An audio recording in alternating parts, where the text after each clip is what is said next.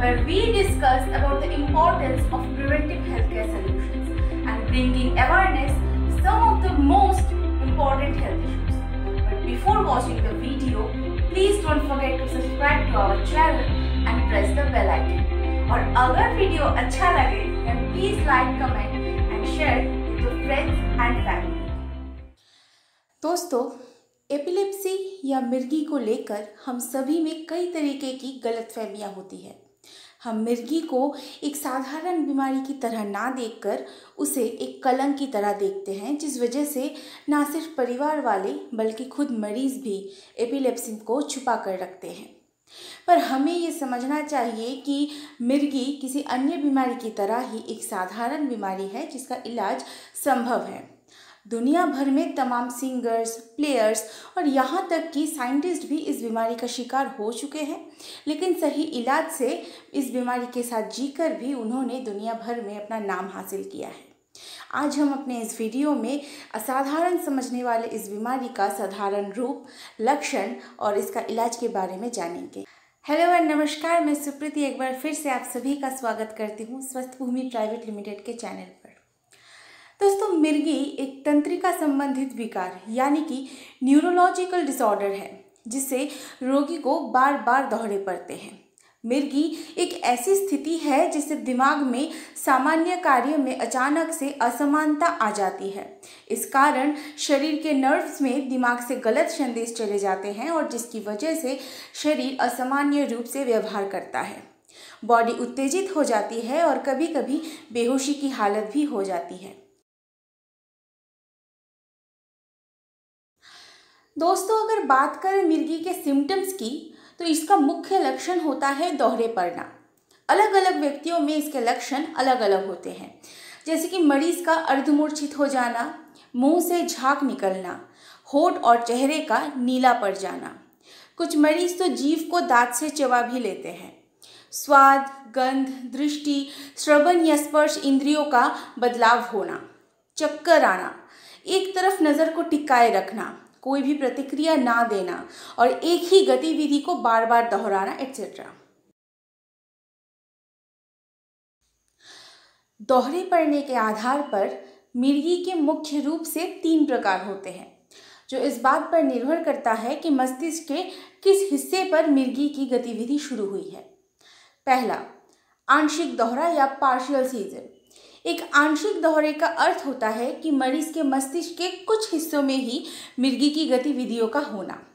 सामान्य दोहरा एक सामान्यकृत दोहरा तब आता है जब मस्तिष्क के दोनों हिस्सों में मिर्गी संबंधित गतिविधियाँ होती है और जब ये दोहरा बढ़ जाता है तो मरीज़ की चेतना खत्म हो जाती है। माध्यमिक सामान्यकृत दोहरे ये दोहरा तब पड़ता है जब मिर्गी की गतिविधियाँ आंशिक दोहरे के रूप में शुरू होती है, लेकिन फिर मस्तिष्क के दोनों हिस्सों में ये फैल जाता है। जब ये दोहरा बढ़ जाता है तो मरीज़ की चेतना खत्म हो जाती है। मिर्गी के दोहरे मुख्य रूप से दिमागी कमज़ोरी के कारण होते हैं। ये कमज़ोरी अनुवंशिक या किसी अन्य कारण से भी हो सकते हैं। जैसे कि मस्तिष्क में रक्तस्राव होने से खून का थक्का जम जाने, यानी कि स्ट्रोक के कारण मिर्गी के दोहरे आते हैं। 35 वर्ष से अधिक लोगों में स्ट्रोक मिर्गी का मुख्य कारण बन सकता है। संक्रामक रोग जैसे कि मेनिंजाइटिस एड्स और वायरल इन्फेस्टिलाइटिस मिर्गी का कारण बन सकता है। मस्तिष्क में संक्रमण होने के कारण भी दोहरे आ सकते हैं। प्रेगनेंसी के कॉम्प्लिकेशंस की वजह से माँ को प्रेगनेंसी में हुई दिमागी संक्रमण इसका कारण बन सकता है। दिमागी बुखार या सर में चोट लगने की वजह से भी मिर्गी के दोहरे पड़ सकते हैं। जन्म से पहले माँ के प्रेगनेंसी के दौरान मिली गई चोट या संक्रमण भी मिर्गी का कारण बन सकता है। मिर्गी के मरीज़ को जब दोहरे आते हैं उस दौरान उनके शरीर की गतिविधियाँ सामान्य नहीं रहती।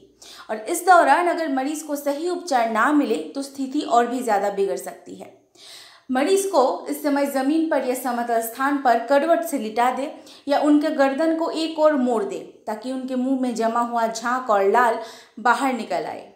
मरीज़ के पास से फर्नीचर, तेज़, नुकीली या चुभने वाली चीज़ें हटा दे, ताकि वो खुद को और दूसरों को नुकसान ना पहुँचा सके। दोहरे के तुरंत बाद ही अगर दूसरा दोहरा आए तो तुरंत अपने डॉक्टर से संपर्क करें। और सबसे ज़रूरी बात, दोहरे पड़ने पर मरीज़ को बदबूदार जूते या सड़े हुए प्याज ना सुंघाए। ये सब गलत फहमियाँ हैं। जिन कारणों से मरीज़ को दोहरे पड़ने की आशंका रहती है, उनसे सावधानी बरतने की बहुत ज़्यादा ज़रूरत है। मरीज़ को खतरनाक मशीनों पर काम करने से बचना चाहिए।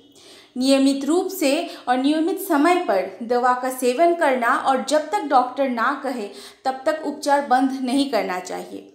व्रत ना रखना, शराब का सेवन ना करना, देर रात तक ना जगना और कम से कम सात से आठ घंटे तक की नींद बहुत ज़रूरी है।